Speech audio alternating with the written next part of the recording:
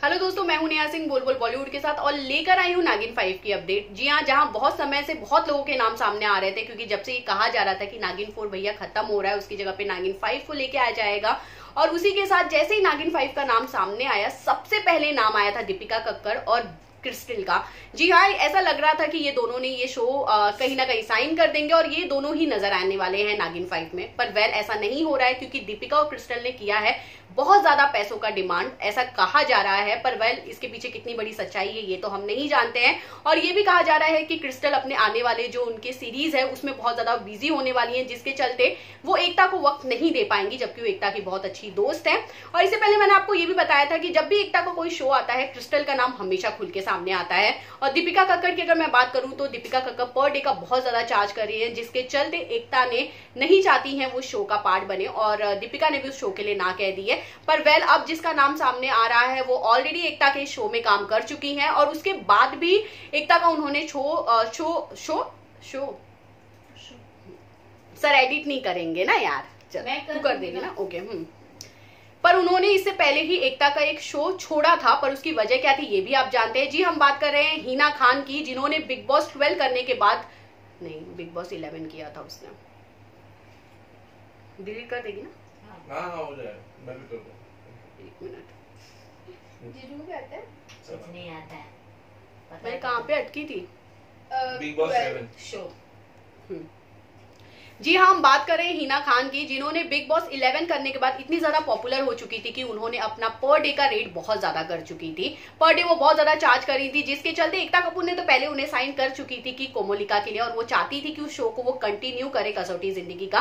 पर एकता के इस चीज़ का जो पर पर डे वो बहुत ज़्यादा डिमांड करने लगी हिना खान, जिसके चलते आखिरकार एकता ने ये बात कह दिया कि हिना, अगर आप शो छोड़ना चाहती आप छोड़ सकती हैं। पर हिना से जब मीडिया ने यह सवाल पूछा कि हिना, ऐसी क्या वजह है जो आप इतने स्ट्रॉन्ग स्ट्रॉन्ग रोल को छोड़ना चाह रही हैं तो हिना ने ये सवाल पे एक स्माइल करते हुए उन्होंने हमेशा यही जवाब दिया था कि भैया, मेरा एक मूवी आने वाला है जिसके लिए मैं काम करना चाहती हूँ और मैं टेलीविज़न पे फ़िलहाल इस वक्त अब नहीं दिखना चाहती हूँ, क्योंकि मैं अपने बॉलीवुड करियर पे बहुत ज़्यादा वर्क करना चाहती हूँ। जबकि अगर मैं उनके बॉलीवुड करियर की बात करूँ तो हिना खान की सारी फ़िल्में हैं बैक टू बैक पिट चुकी हैं, शायद जिसके चलते अब हिना खान वापस नागिन फाइव में नज़र आएँगी।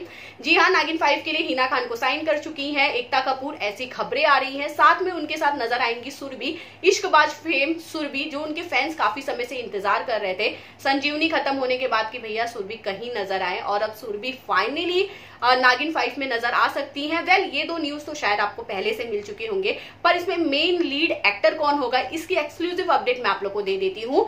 नाम आ रहा है इस वक्त शिविंग नारंग का। जी हाँ जिनको आपने ऑलरेडी बेहद टू में जेनिफर के अपोजिट देखा था और खतरों के खिलाड़ी में वो जमकर एक तरह से लड़ रहे हैं, खेल रहे हैं, जो फ़िलहाल इस वक्त तो बंद है, क्योंकि शूट कंप्लीट नहीं हुआ है। वेल ऐसा माना जा रहा है कि 15 जुलाई से शूट्स वापस शुरू होने वाले हैं, जहाँ नागिन फाइव की भी शूटिंग होगी और खतरों के खिलाड़ी की भी जो शूटिंग है, वो मुंबई में ही करने वाले हैं फिनाले वो। पर वेल अगर मैं शिविंग की बात करूँ तो जब हमने शिविंग से बात किया तो शिविंग ने इस चीज़ पर फ़िलहाल इस वक्त बात करने से मना किया है। वही सुरभि ने भी यही सेम चीज़ कहा है कि बहुत एक तरह से बहुत जल्दी होगा अगर मैं इस मुद्दे पे इस वक्त बात करूँ। इस रोल को लेकर अगर मैं बात करूँ, जी हाँ मुझे ऑफ़र हुआ है, पर अभी तक कोई चीज़ डिसाइड नहीं हुई है। पर जैसे ही डिसाइड होगी, मैं आप लोगों को बता दूँगी। पर हिना खान का नाम इस तरह आना एक तरह से उनके फैंस के लिए बहुत बड़ी बात है, क्योंकि लोग अब ये भी सोचेंगे कि भैया हिना कहीं अपना रेट वापस जाके ना बढ़ा दे, क्योंकि एकता कपूर हम सब जानते हैं, पैसों के मामले में थोड़ा कम पैसा देती हैं, जिसके चलते बहुत सारे ऐसे स्टार हैं उनके नागिन फोर वाले, जो खुद ही शो छोड़ चुके हैं, जिसमें रश्मि देसाई है निया शर्मा है, विजेंद्र ने भी ये बात कहा था, कि उन्हें ऐसा नहीं लग रहा था कि वो शो अगर लॉकडाउन के बाद खुलेगा तो उन्हें ऐसा लगा था कि फोर को ही कंटिन्यू किया जाएगा, पर एकता को अब ये बात समझ में आ चुकी थी कि उन्होंने जिस कास्टिंग को लेकर वो चल रही थी वो दर्शकों को बिल्कुल पसंद नहीं आ रहा था, जिसके चलते टीआरपी की रेस में इस बार नागिन फोर पूरी तरह फेल हो चुका था। टॉप फाइव में मुश्किल से अपनी जगह बना पा रहा था, जिसके चलते एकता ने इस बार ये डिसाइड कर लिया है कि भाई नागिन फाइव में अब जो होंगे वो ऐसे स्टार होंगे जो उनके नागिन को कहीं ना कहीं जो एक मुकाम था हमेशा की भैया हमेशा टीआरपी नंबर वन पे रहते थे, बिल्कुल वैसे ही बने रहे। और साथ में एक और एक्सक्लूसिव अपडेट मैं आपको दे देती हूँ। इस बार का जो नागिन फाइव है, वो ऐसा माना जा रहा है फिनाले नागिन फाइव हो सकता है, भैया खत्म करो, नागिन फाइव ऐसा टाइप वाला होगा।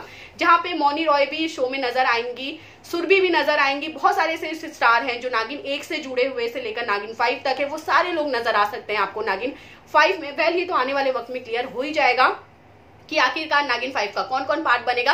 क्या ये नागिन फाइव नागिन फाइव तक ही स्टॉप होगा कि इसके बाद भी इसके और ज़्यादा आते रहेंगे भाई नागिन। Five six seven eight nine ten पता नहीं कब तक चलता रहेगा। वेल चलिए, आप भी इंतज़ार कीजिए कि कब ये शूटिंग शुरू होगी। और फाइनली जो नाम इस वक्त मीडिया के सामने खुल के आ रहा है, वो फाइनल हुआ है या नहीं हुआ इसकी अपडेट भी आप तक बहुत जल्द आ जाएगी, क्योंकि हमने हमेशा देखा है बहुत सारे नाम सामने आते हैं, पर नाम रियल क्या होता है, ये तो खुद एकता कपूर अनाउंस करती है अपने इंस्टाग्राम पे पोस्ट करके, उस सेलिब्रिटी का नाम वो लिखती है। तो इसी का हमें इंतज़ार रहेगा, पर उससे पहले हमें, हमारे पास कोई अपडेट आएगा तो हम हम आप तक ज़रूर पहुंचाएँगे।